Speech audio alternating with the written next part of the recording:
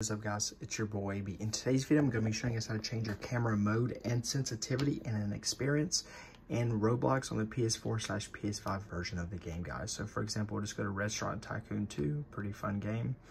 And then guys, what you want to do is you just want to press the options button and then you just want to go to menu. And then at the top, you're going to see settings and you can do follow menu where it follows your person or it's just the default one right there.